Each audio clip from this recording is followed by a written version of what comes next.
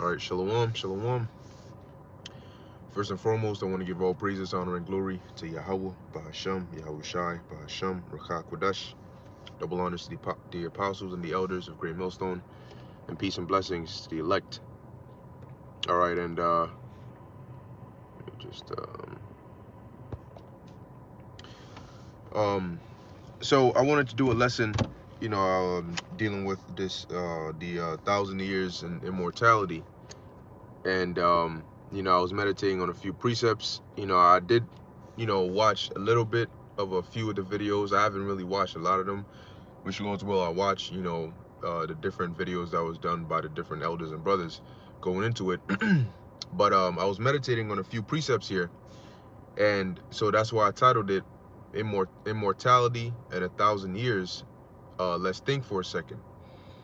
And when you actually, you know, think, you see that there are a lot of a uh, whole bunch of scriptures that point to and um, explain and tell us, okay, in a nutshell, that plainly, not plainly that uh, we are going to be immortal in the kingdom.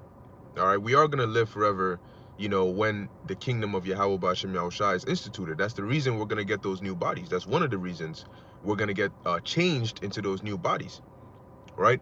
So if you um, make a claim or a statement that uh, after a thousand years, you know, we're not, you know, we're gonna we're gonna be translated, or you know, it's there's gonna be some some halt, you know, to that. Then it's not really immortality, but you have to think, right? If that is true, then you need to you need to falsify all the other precepts that point to the opposite of that. Because as we're about to go through, there's a bunch of precepts that point to us continuously living for all eternity. So if you go to one precept and say that that precept means that we're not going to live and continue for all eternity uninterrupted, right? Comas and translations and all of that, then you need to go back and explain away all the other precepts that do say we are, or else you would be saying that the, the scriptures contradict. And we know that the Bible does not contradict itself. And if there's any contradiction, it would be in your understanding of what is written. Okay? Meaning you don't have the full understanding. So let's start off with the book of Revelation, chapter 20, and verse 4, which says, And I saw thrones, and they that sat upon them, and judgment was given unto them. And I saw the souls of them that were beheaded for the witness of Yahweh Shai. Now, when you read in the book of Matthew, the Lord told the the uh, the apostles that they would be sitting on uh, 12 thrones judging the 12 tribes of Israel. And you would also have the rest of the uh, 144,000 also sitting on thrones uh, uh, as judges and rulers. Okay. And back then you had different uh, disciples and different men of the Lord that were beheaded. And in this time, you're also going to have that. Okay. So John saw all these things. And what else did he see? It says, and uh, that were beheaded for the witness of Yahweh Shai, that were beheaded for the witness of Yahweh Shai, um, and for the beast, oh, Slakia, and for the word of God, and which had not worshipped the beast, neither his image, neither had received his mark upon their foreheads or in their hands. So those that overcame, Revelation 15 and 2, and they lived and reigned with Hamashiach a thousand years. Now, the scriptures are very specific. When it says a thousand years, it doesn't it didn't say they're gonna live and reign with Yahushua for only a thousand years. And it didn't say, oh well, after a thousand years they're gonna die or get translated. It didn't say any of that. All John said was I saw them live and reign with Yahushua a thousand years. And the reason that thousand years is mentioned is because that's going to be a very crucial time period in the institution of the kingdom of heaven. Because during that thousand year period is where you're going to have that that that main transition. The heathens are going to be put in, in uh, captivity all right? And the world is going to be taught in the ways of Yahweh Bashem Yahushai okay so there's going to be a lot of change right the, the proper uh, institution of life is going to be getting put into the earth and that's why it's crucial. But the reign doesn't stop after a thousand years. we don't stop living after a thousand years. And quite frankly, if you teach that, you got to think about it. Would you really want to live for just a thousand years? You're going through all of this. You get into the kingdom, and it's, it's I mean, it's just glorious and beautiful. And you want to be there for only a thousand years? You got even, yo, some of these things, man, you got to think about. Like, would you even, why would you even want to just a thousand years? What, what type of shit is that? Nevertheless, that was Revelation 20 and 5, right? So, although it doesn't say um in this in the Salakia, Revelation 20 and 4, now it doesn't say what exactly in this in this uh chapter or in this verse, it doesn't say what happens after the thousand years. But that's okay because the scriptures say precept must be upon precept. So we're gonna go to other precepts that are gonna explain or give you the the fullness of what the kingdom is gonna be like.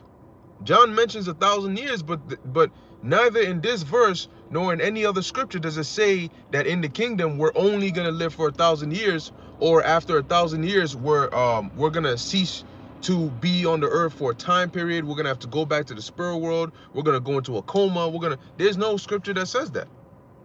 But there are other scriptures that say this, which I'm gonna get. So let's go to the book of Daniel.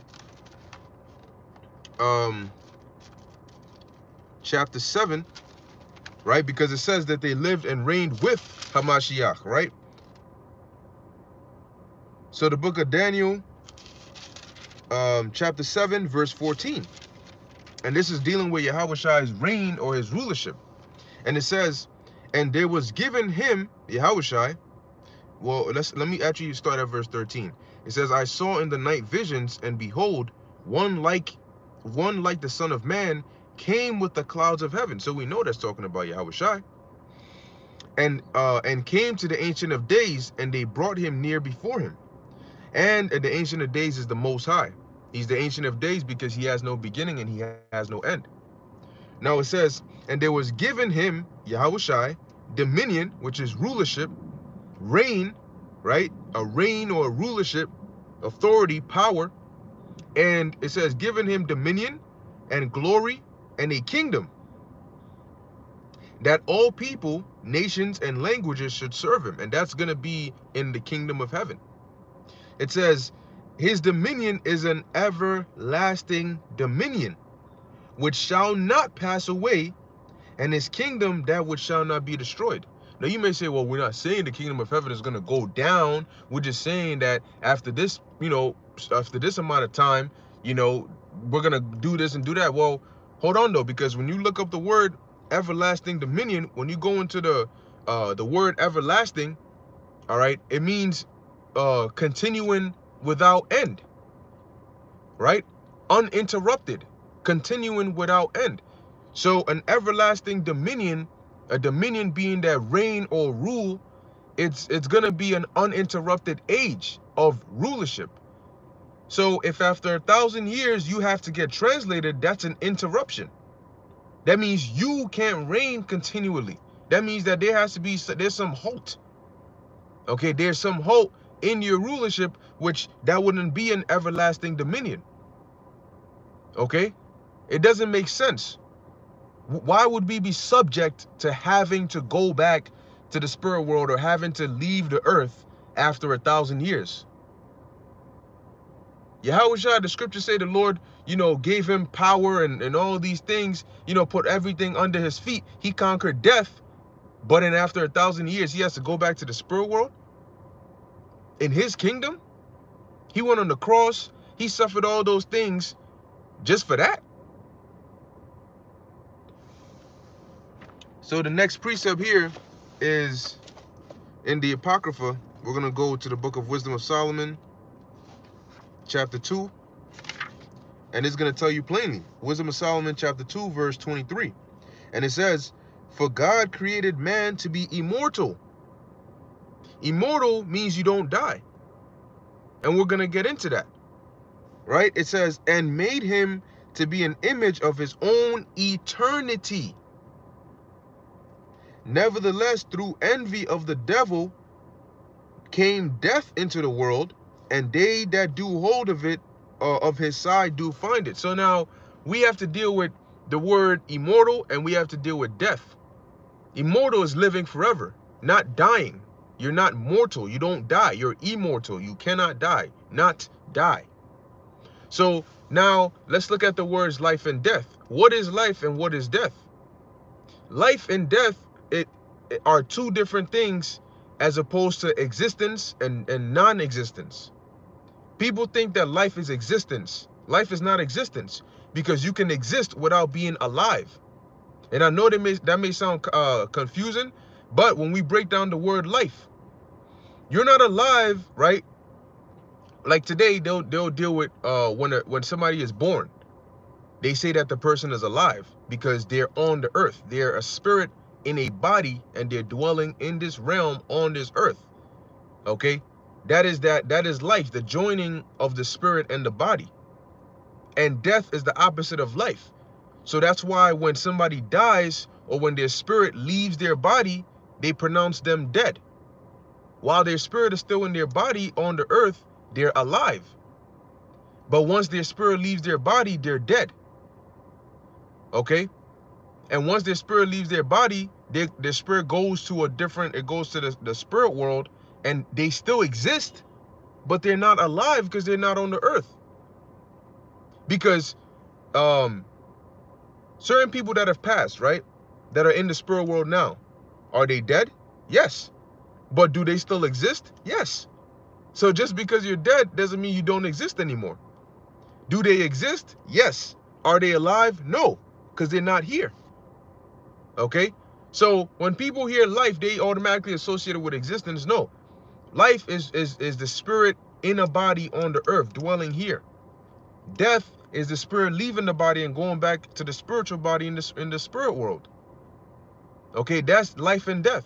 So when you say that we're going to be immortal or we cannot die, that means that we're we're not going to uh, um you know be have to be subject to our body deteriorating and then us having having not willingly to depart back to the spirit world and then dwell there for you know three to four generations and then have to come back again on the earth and be born.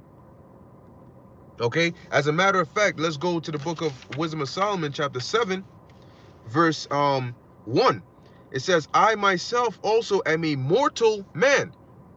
What does that mean? That means that solomon was subject to death. He had to at some point in his life he had to go back to the spirit world. He didn't have a choice. So he said i myself also am a mortal man like to all and the offspring of him that was first made of the earth now when now when you read through he basically goes into the process of of uh, birth right the process of, of how life is made you know the body is made and the spirit comes and, and, and dwells in it and when you come down to verse 5 it says for there is no king that had any other beginning of birth. For all men have one entrance into what? Into life. Okay? All men have one entrance into life and the like going out. So what is the entrance into life? Birth. Because he just described the entrance into life, which was a man laying with a woman putting his seed into her, forming the body, and then opening up that entrance for the spirit to come down. That is the entrance into life, birth. Okay? And the going out is death. When the body is not able to function anymore, the spirit can't dwell in it, so the spirit has to go back to the spirit world. Okay? That is the cycle of, of, the, of, of the mortal life.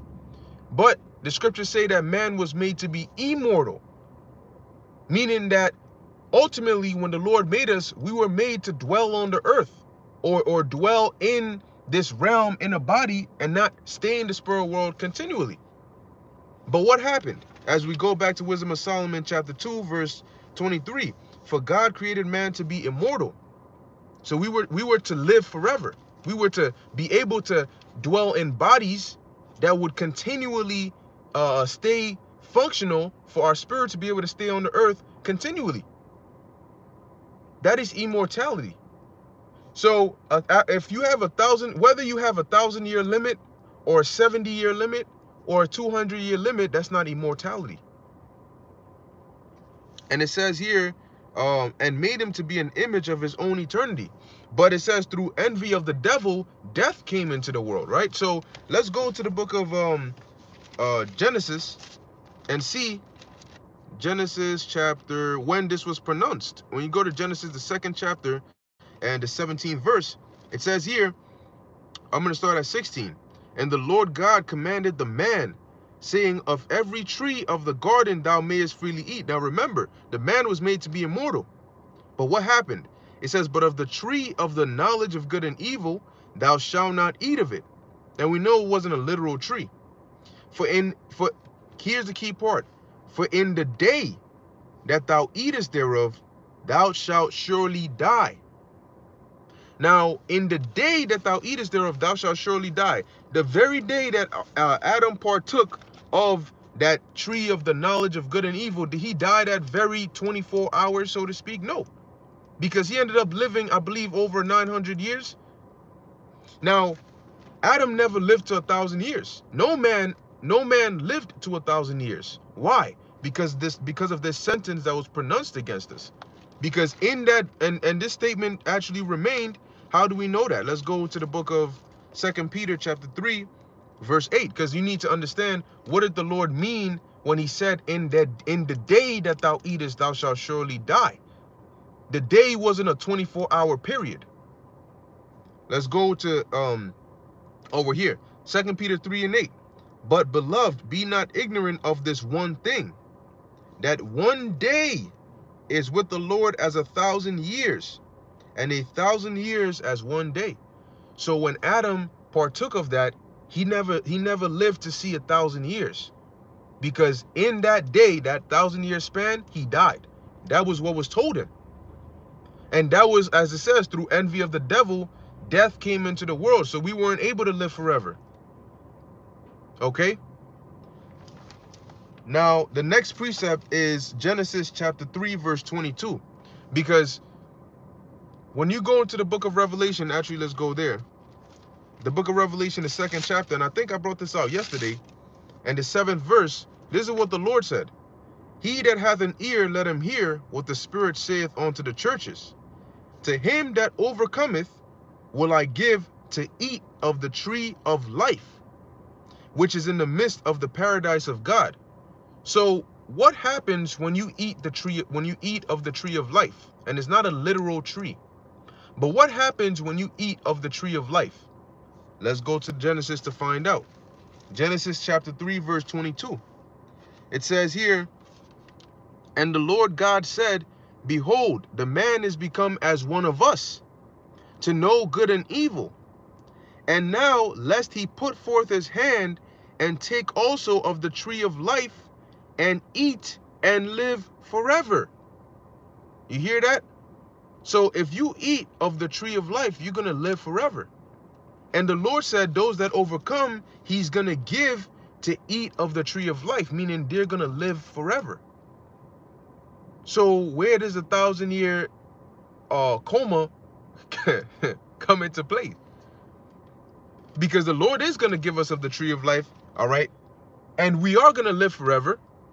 So there's not going to be an inter in, uh, a halt or interruption in that after a thousand years or after 2,000 years or after 3,000 years. We're going to be continually living forever because uh, in the book of John, it says we don't know what we're going to be like, but we know that when we see Yahushua, we're going to be like him. So whatever is going to happen to Yahushua is going to happen to us because our bodies are going to be fashioned like onto his body.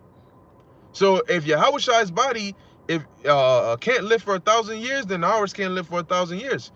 But we know that his body is going to live all, forever. That's the point. because what is death? Uh, the wages of sin is death. And, and when we get those new bodies, we're never going to sin. And if we never sin, we're never going to die. So we're not going to be subject to having that death, which is that departure, the, that basically that uncontrollable, forceful departure of the spirit and the body.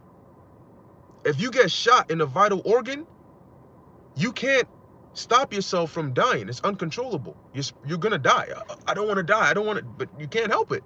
Your spirit is going to leave because the body, you can't dwell in it anymore. And you notice you bleed out and bleed out. And when you get to that final point, you die because your spirit is like, I can't dwell here. You know, what the necessary things that I need to house me, I can't. They're not here. I have to go back up. You don't cease to exist, but you exist in the spirit world and you're not in a coma. Because it, it, the scriptures clearly tell you that you had men that were in the spirit world com uh, complaining to the Lord about how long does he not judge those that are on the earth. Or they were just hallucinating. They were having dreams. Okay, now I have one last precept here, which was uh, something that the Lord said. He told uh, Peter and, the, and uh, the rest of the apostles or the disciples in uh, Matthew chapter 19, verse 28. And this is after Peter, well, I'm going to actually start at verse 27. Then answered Peter and said unto him, Behold, we have forsaken all and followed thee. What shall we have therefore? And Yahushua said unto them, Verily, meaning truly, I say unto you, that ye which have followed me in the regeneration, meaning in the reincarnation, if you follow, because that this was about over 2,000 years ago. So he said, those that follow me in the regeneration, that's why he told um John in in uh, uh, Revelation 12 that he was gonna have to come back and prophesy again before many people and kindreds and tongues and nations. And that would be because John would be following Yahweh in the reincarnation, meaning John will come back. The same thing was told to Daniel. Go go thy way, you know, for you're gonna stand in thy lot in the last days.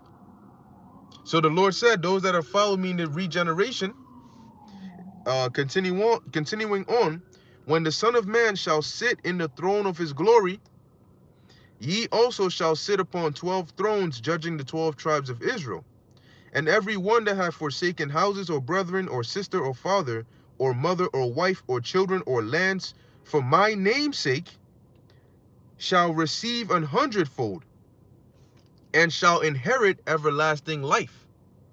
So now if we know that life is the joining of the spirit and the body on the earth, and then you put the word everlasting before that, which means is this this uh, spirit that's joined to this body dwelling on the earth, you put everlasting, meaning it's going to continue that way without interruption. You have yourself an immortal life, an immortal being, an extraterrestrial being, one that can dwell on the earth without being subject to going back to the spirit world. Because what is our entrance back into the spirit world? Death. You can't go to the spirit world unless you die, you know, or you're translated, which is something that the Lord, you know, can do. But in terms of the normal cycle of man, if if I'm here right now, I want to go to the spirit world, I can't. I can't just get just up and go, you know? The only way if you get if you if this body is not functional anymore, if you die or you commit suicide, which is also death, that is the only way in a normal quote unquote life you can go to the spirit world. So an uh, an everlasting life, it means that you're gonna be able to uh, uh dwell in a body on the planet Earth or you know whatever other planet without being subject to having to go back to the spirit world because your body's not going to be able to die. You know, you're not going to have, oh shit, yo, my, my arm fell off. You know, oh, my, I got this major disease and my body couldn't fight it off and boom, you, I'm, I'm, I'm dead now. You know, like, here we go. You're perfectly fine. Nine, 999 years and 24, you know, uh, 23.99 hours. And in the last minute, you just catch a crazy ass disease and just drop dead. That doesn't make sense. And there's no scripture that says that. Because all the other scriptures point to us living forever. There's a scripture that says, um, uh, all Israel shall be uh, saved, world without end. Okay, so we're going to be immortal. Uh, Revelation, the 21st chapter tells you that. First Corinthians, the 15th chapter tells you that. So like I said in the beginning of the video, if you make a statement like that, you need to now go to all these other precepts that point towards us living forever. And you need to now uh, explain how that how those precepts mean that we're really just gonna live for a thousand years and then be translated. You gotta you how do you explain that? Okay. Oh, death, where's thy victory? You know, or or oh death, where's thy sting? Oh grave, where's thy victory? What is grave? Grave is a representation of death because the, the earth receives your body and the spirit goes back to the father who gave it that's in the book of ecclesiastes okay and that's the process But when when we get those new bodies, we're not gonna have to be uh, forcefully subject to that process anymore. Okay, so it's really not that difficult of a concept. This is um Yasharala Asa YG, Isaiah 45 and 17, the water. But Israel shall be saved in the Lord with an everlasting salvation. Ye shall not be ashamed nor confounded, world without end. There you go. Now, there's certain things in terms of uh specific details that we can't tell you about in the about the kingdom because it's not written. See, when when when you know when we say we have 100% truth starting with the elders and apostles on down it, it doesn't mean that we just know everything that that exists in all of existence no it means that everything written in the book okay 100% understanding of everything written in the book if meaning meaning if it's written then we understand it Okay? It doesn't mean that, well, it's not written in here, so you, you got to know it anyway. No, because the scriptures say we know in part, we prophesy in part. But the part that we, we know, we know it 100% because it's our job. We have to. So it, it, it's not complicated. And and at the end of, at the end of the day, why would you want to live for just a thousand years? You mean to tell me we doing all? You mean to tell me the Lord promised all the promises and the, the, the you know the talk and the different prophets that came time and time and time again? Okay, that came time and time and time again, and we all this down the third, and all of that just for a thousand years. We're gonna be in the kingdom. Oh my gosh, this kingdom is amazing, but we we gotta check on our calendar the, the countdown because we know after a thousand years is over. Man, hell no, nah, man. Nah, nah, nah, nah, nah, nah. That, that ain't right. That ain't right. Um, that's right. This is um Virgin Island Straight Gate, Shalom. First Corinthians 2 and 14. But the natural man receiveth not the things of the Spirit of God, for they are foolishness unto him, neither can he know them because they are spiritually discerned. Yeah, because ultimately at the end of the day, to understand you see, you can't understand the scriptures with just brains. You know, I'm just, I'm smart. So no, understanding the Bible is not through being smart. It's a spiritual thing. You, there's certain parts in the scriptures that you need to, that's why the Lord will say, if you can receive it, right? If you can receive it, meaning if, if the Lord has opened up your spirit to be able to receive it, okay? Hey, Khan, you know, just one day in the sight of the Lord, yeah, it makes no sense. Okay? The Lord has been waiting. Hold up. Yahushua has been waiting 2,000 years, 2,000 plus years in the spirit world just so he can come and spend 1,000 years here? Boy, you know, and then, and then what? Go back into a coma? No. Okay, but but hey, these are things that you, you hey, and you and you see what the Lord is doing is, especially the past few months, he's he's basically bringing everything out to the light and you're seeing who's solid and who's not. Because you something like, yo, something so simple, tri tripping people up, you know, and then this this here and then this here, but the Lord is doing that to to clear the path. See, the path is there, but he's he's he's widening it. So those that can see can see and know. All right. And those that can't see, they just get weeded out with the rest. All right. So I'm gonna end it off on this precept here. Um this is uh let me see.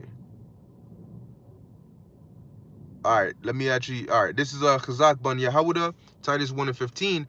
Unto the pure all things are pure, but unto them that are defiled and unbelieving is nothing pure. But even their mind and conscience, uh, conscience is defiled. Yep. Hey, it's a scary look. If you if you take away one tiny part from the scriptures and you don't, you know, repent it's a scary thing because Yahweh Bashem El Shai could say, oh yeah, you want to take that part away? I'm to take everything from you. But the Lord, the things don't work just overnight like that. The Lord can do that, but sometimes the Lord does it to where he takes he takes things away little by little. You know? And that main thing he takes away is that understanding. And then the little things start to trip you up. And that's a scary thing, man. Um, this is uh Chazak Ban Yehuda, John 6 and 44. No man can come to me except the Father which hath sent me uh draw him, and I will raise him up at the last day. All right, it says, uh, verse 45, as it is written in the prophets, and they shall be all taught of God.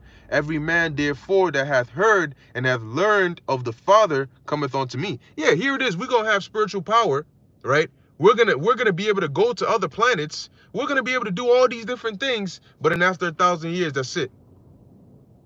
But but what would be the what would be the purpose of that? We die now for a reason, but in the kingdom, why would we need to die? What what are we gonna learn from that? What, what how how did we gain the victory over death? How did Yahawashi gain the victory over death if if we're all still gonna be subject to it? Because yeah, you could you could use the term translation, but translation is still a form of death because you're you're leaving the earth and you're going into the spirit world. Because for example, um uh Elijah, Elijah was translated, right? And and the scriptures say that uh, uh I, I think it was Enoch or Elijah, one of them says they were translated that they should not see death. At the end of the day, they're still dead. Okay, but what it means is that the, the the the normal way that a man would die, meaning the normal way that a man would depart, the spirit and the body, they didn't have to go through that because the the uh, instead of their spirit just leaving their body, the Lord changed it. He changed their body, he translated them into a spiritual body, and then they went. Okay, so you can't find that body because it, they didn't shed it into the earth. Okay, but at the end of the day, eat. You know what I'm saying? Elijah and all them, they they know they gone. You know that now they came back in the reincarnation in a new body, but at the end of the day, they they're not on the earth. They weren't alive. Why was um why was uh, Elisha so so sad? Okay, because Elijah was considered dead. He wasn't alive anymore. He was in the spirit world. So we're not gonna die, man. Um, but I'll finish it off here. Uh, this is um, Yasharala H-O-Y-G, Matthew 13 and 16. But blessed are your eyes, for they see, and your ears, for they hear. All right, and Brakatha Yahweh Hashem Shai for that. That that he has allowed us to see 100% clearly. Okay, that Lord willing, we may be of that elect. And when Yahweh comes, we may get the fullness. But the little part that we've been given now, Bless Yahweh Bashim Shai that we can understand it fully and that we can see clearly and that we remain, okay, that we continue in this way. Because everything that happens and everything that's happening ultimately is orchestrated by Yahweh Bashim Shai. So that's why we always pray that the Lord keep us, that we always pray that the Lord keeps our eyes open. All right. And he continues to deal with us in the spirit so we can continue to keep this knowledge, wisdom, and understanding. But when you start to get proud and puffed up thinking it's of you, the Lord will say, okay, I'm going to pull my spirit away and let's see how much of it is actually of you. All right. So with that, I'm going to end it here. Lord willing, this was edifying unto the elect. In closing, I want to give all praises, honor, and glory to Yahawah, Bahasham, Yahawashi, Bahasham, Rakha Kudash. Until next time, Shalom.